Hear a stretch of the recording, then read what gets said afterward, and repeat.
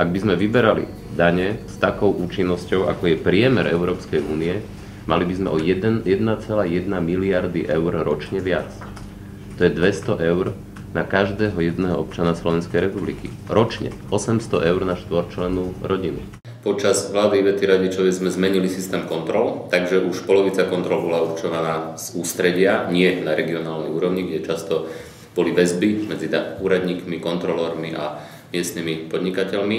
Výsledkom toho bolo aj e, zatknutie e, podnikateľa Varehu, ktorý bol jedným z najväčších e, podvodníkov v oblasti dane z pridanej hodnoty. Ale stále je ešte urobeného málo a stále sú ešte obrovské rezervy.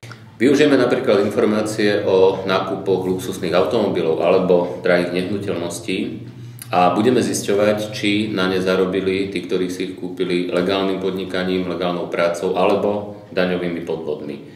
Zavedieme tiež náhodné daňové kontroly a zabezpečíme, aby na miestnej úrovni nekontroloval kamarát kamaráta. Vo finančnej správe nepripustíme už viac priestor pre stranické nominácie. Rozhodujúce slovo budú mať a musia mať profesionáli. Napríklad budeme aj zverejňovať zoznamy osôb, ktoré sa opakovane dopustili v minulosti daňových deliktov.